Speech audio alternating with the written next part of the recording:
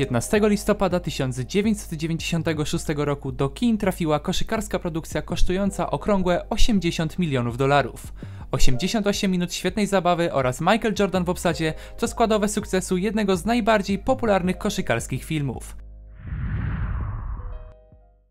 When the world's greatest athlete, Michael Jordan, teams up with the world's best loved cartoon character, Bugs Bunny, you won't believe your eyes.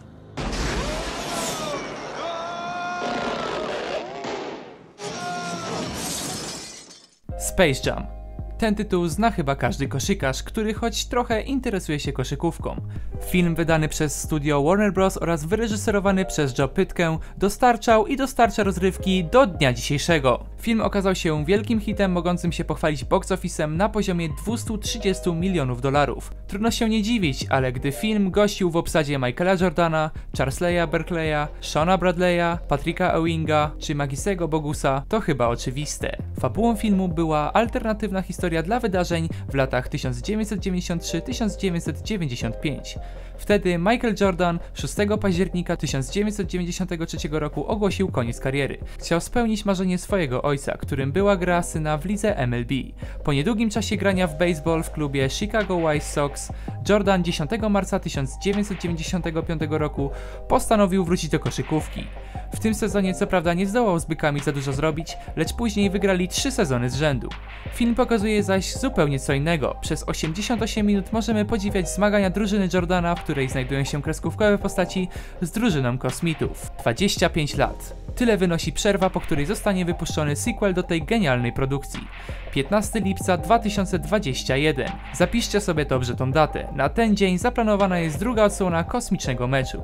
Fajnie, co? Mało tego, główną rolę ma objąć nie kto inny jak król obecnego NBA, czyli sam LeBron James. Koszykarz z Los Angeles Lakers często podkreślał, że zawsze kochał Space Jam i że był to jeden z jego ulubionych filmów dzieciństwa. W lipcu 2015 roku James i jego studio filmowe Spring Hill Entertainment podpisali umowę z Warner Bros. Czy wiedzieliście, że kampania reklamowa jest skrupulatnie prowadzona już od 2016 roku?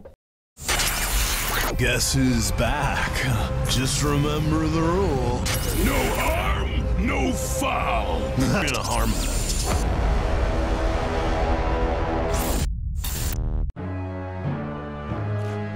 It's the same story it's always been.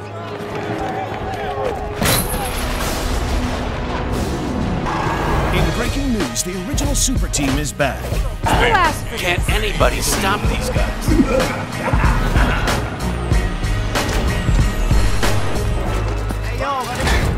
yo, yo, yo, What's up, jocks? Monstars again, huh? Początek produkcji filmu zaplanowany jest na 17 czerwca 2019. Co ciekawe, już przed produkcją film otrzymał 21,8 miliona dolarów ulg podatkowych w wyniku nowego programu zachęt podatkowych od państwa. To na pewno pomoże twórcom pokazać większy rozmach. Wiecie jak się teraz patrzy na Space Jam pod względem technicznym. Jeśli popatrzymy przez pryzmat lat, to naprawdę można być pod wrażeniem. Ale pomyślcie, jak będzie wyglądała druga część filmu. Przecież żyjemy w czasach, kiedy Pikachu z Pokémonów wygląda właśnie tak. No ja jestem bardzo ciekaw końcowego efektu, ale do premiery pozostało jeszcze dużo czasu, więc nie pozostaje nic innego jak tylko czekać. Jeśli będę miał jakieś nowe informacje, to od razu się nimi z wami podzielę.